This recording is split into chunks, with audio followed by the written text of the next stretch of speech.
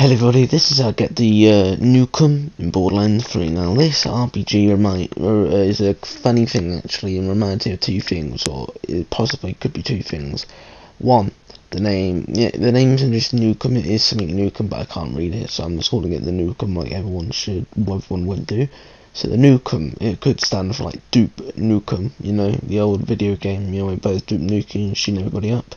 And the other thing is, when you shoot out this gun, as you can see in the gameplay, you know, you shoot it and you get to play Fallout, it kind of does like the, uh, when it lands, uh, it does like the fat boy, like when, when, when like, you shoot a fat boy in Fallout, and it goes up and dips down, but yeah, this one does 1,540, um, 407 damage. Now this could possibly be the best RPG in the game, because I have got one of the other uh, RPGs I'm making a video on, and this one does 400 more damage, which is significantly a lot. But the thing about this gun is the the closer you you want to shoot it, you want you want to shoot at someone. The closer you know you got to like shoot it at your feet so it goes out further.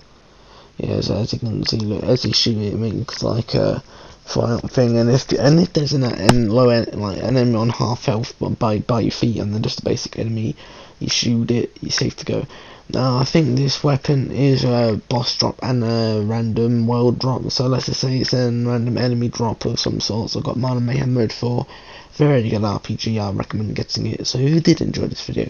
If you did enjoy this video, make sure you leave a link, it will most appreciate me out and help grow the channel. And if you haven't already, why don't you subscribe? Because we're so close to 400 subscribers, and yeah, it would mean a lot. And I'll see you guys in the next Borderlands video. See you in the next one.